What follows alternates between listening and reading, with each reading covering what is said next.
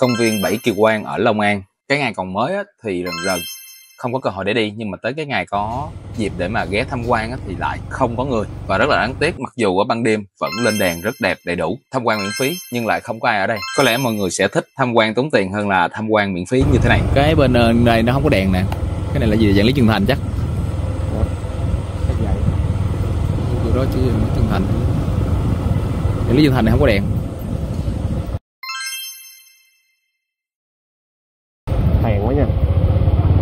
gần lý trường thành không ờ, cái này cái gì của cái gì cái trái cam gì này phải không?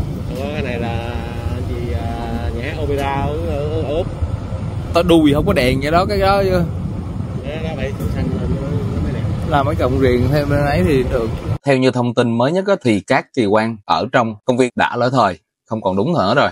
Vì hiện tại theo năm mới nhất á, thì một số kỳ quan đã không còn được nằm trong danh sách là kỳ quan của thế giới nữa. Có lẽ đây cũng là một nguyên nhân mà nơi đây dần bị lãng quên Nè, sáng tới tới chụp hình chứ hầu như không có đường lên đúng không? Ừ, nhảy gì cho được lên không này chỗ công viên là thế dân địa phương không thèm vô chơi luôn. Đi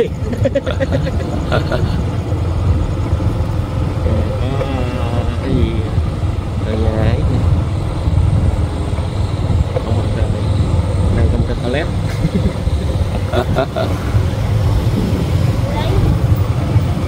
Gần đây đi hỏi chị đó coi bình thường chưa đậu xe đâu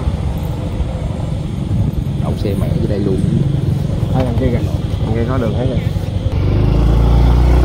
không không có đường lên nào mình chạy vòng em đi vòng đi đi vòng đi rồi.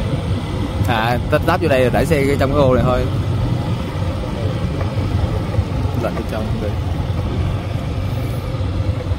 mang tiếng kế bên ờ, Long An mà chớ bao giờ mà mà mà mà, mà tới được.